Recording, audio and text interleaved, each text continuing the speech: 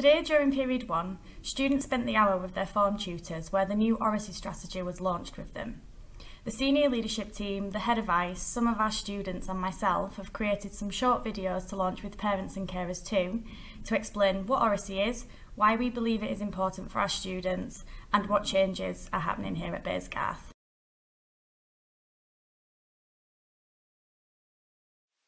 See, at Baysgarth is incredibly important for all of us. What do we mean by oracy? Well, it's the ability to express yourself um, and understand speech. It's the ability to speak clearly, it's the ability to articulate ideas, to develop your understanding, to engage with others through the spoken language. There is a nationally recognised oracy framework, and Baysgarth has gone further than that and developed its own oracy benchmarks of what we're trying to achieve with our students here in our school. Uh, we truly believe that this is critically important for every single one of our students. Why? Well, the evidence backs it up. The evidence from many different studies shows that students who uh, have strong oracy skills have better academic outcomes. We know that structured classroom talk actually improves literacy as well as oracy.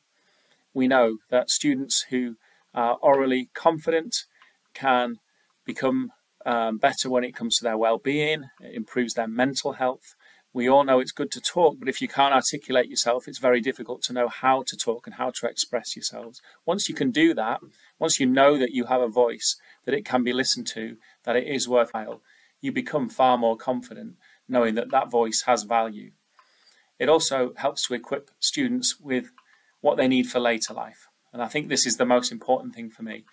If you are going to succeed in life, and if you are going to have social mobility, if you're going to move up, if you're going to try and strive to do better than the previous generation, you need to be able to succeed in interviews. You need to be able to succeed when you're faced with people who are strangers for the first time. You need to be able to impress. And all of these things come from being confident um, with your skills in oracy. And this is why it's at the very heart of what we're trying to do here at Baysgarth this year.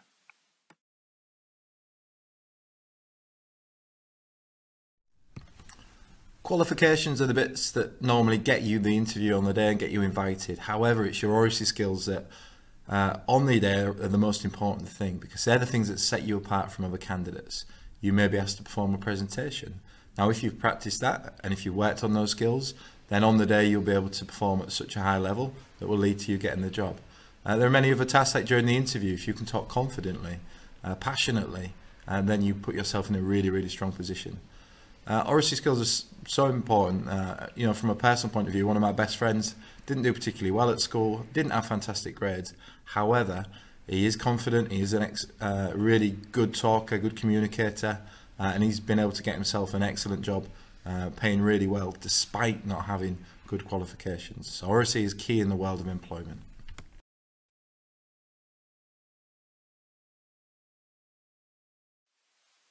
Benefits of oracy go far beyond academic achievement and employability skills. For me, it's about building a whole range of social and emotional interpersonal skills, including self confidence, resilience, self awareness, and most importantly, empathy. There's a huge amount of research on the impact of oracy on academic achievement, but also on our children's mental health. A child aged five with an underdeveloped vocabulary and oracy skills is almost twice as likely to suffer in their teenage years from mental health issues. Now, when I was at school, we were taught the golden rule that silence is golden, which in some situations it can be. But for me, too many children now locked up in silence with a real inability to communicate their thoughts, their feelings, and their sense of identity. That inability to talk leads to children suffering.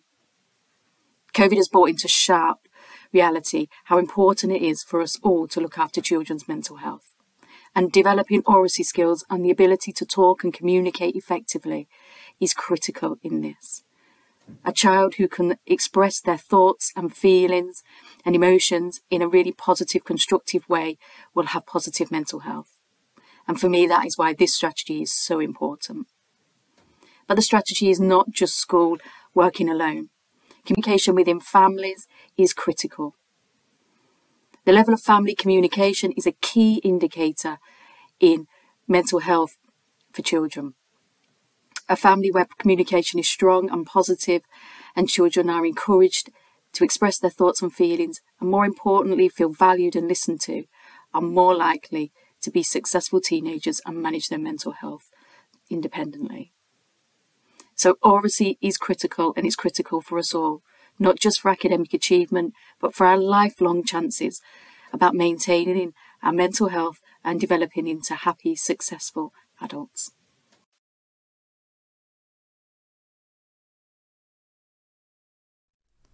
Hi everyone, I'm here to talk about oracy with a focus on building relationships and managing conflict.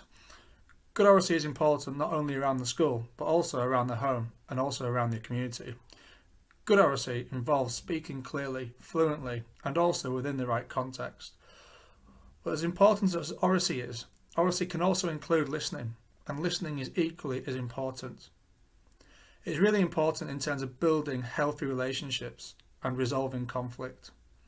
Oracy skills include the ability to communicate emotions and demonstrate empathy and therefore they can also include facial expressions and how we appear to people. Oracy is also highly important in ensuring that people, yourself and others, family members, have good mental health. It ensures that you have success at school, that you have healthy relationships with your peers and with your family members and with your friends. So oracy is important not only at school, but also at home and also, as I said before, in the community.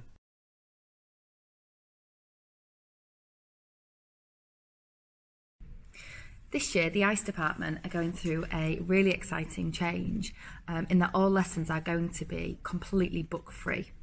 Uh, this is to support the um, the whole school initiative, um, which involves increasing the students' oracy skills um, to give them the best chance in life to be able to communicate effectively um, in all areas of life. Um, so it's something that we are completely wholeheartedly getting involved in, ready for our students. Um, the idea of being book free means that students um, can have the confidence to um, explore their feelings and um, contribute to a lesson without having to worry about how many, um, how much writing they're doing, how many pages of the book that they're filling. Uh, so it almost kind of takes that pressure off. And it's one less thing to think of. And the idea that there's no books means that there's no distraction as well in terms of, you know, getting um, in the way of of the topics and the sort of things that they're discussing we do this through carefully planned lessons, trying to make sure that we use a lot of different Kagan structures so that it is different, so that it gives um, the opportunity for every child to get their voice heard. So with these Kagan structures, every person has to contribute to the discussion. Okay, nobody gets left behind. Uh, not one person, you know, dominates the conversation. Everyone has the opportunity to get involved, and that's really, really important to our initiative as a whole. Um, students are becoming, you know, getting used to being outside of their com comfort zone, but this will benefit them in the long run. Um, and, you know, they understand these expectations and so far so good the students are really really engaging with this initiative and, and getting involved um, and enjoying the work that is being done in this area. For me, oracy skills are important because it can help me get roles in and out of school. I had to use my oracy skills in my interview to become a Bardney prefect, and I was successful in getting the role. Also, I'll use oracy later in life for job interviews and when speaking to those in higher positions. For example, in the future I'll have to speak to a boss or a manager, and there I will utilise my oracy skills to show respect to them. I think it is important to have good oracy skills to allow us to communicate with others on a variety of different topics to a range of audiences. Personally, it allows me to express my feelings and emotions while also helping others to express theirs. I believe that having good oracy skills is vital to, vital to show off your personality and who you are. It helps you to connect with others and make friendships, and if you ever have any friendship issues, you have the skills to be able to solve those problems and conflicts. Oracy skills are important to me as they allow me to communicate and share my opinion with others. It opens opportunities for me to debate and learn new perspectives that I may not have considered. Oracy allows me to understand people and our differences.